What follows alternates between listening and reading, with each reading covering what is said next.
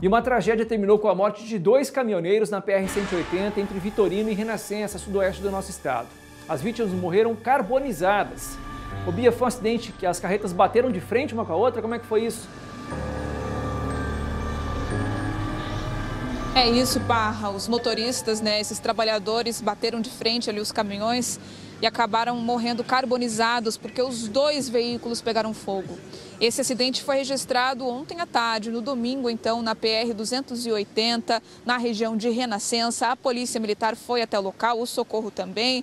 Ah, os relatos onde que as pessoas que estavam próximas ali, moradores, tentaram também controlar as chamas até a chegada do socorro, mas infelizmente foi um incêndio de grandes proporções que atingiu esses dois veículos após a batida.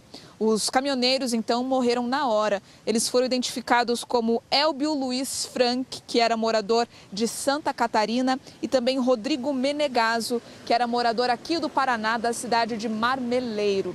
A informação é que esse acidente teria sido causado por conta de uma tentativa de ultrapassagem em local proibido. Ou seja, um dos caminhoneiros tentou fazer a manobra, o outro veículo vinha no sentido contrário e a pancada foi forte. Eles bateram de frente e os veículos pegaram fogo. Parra.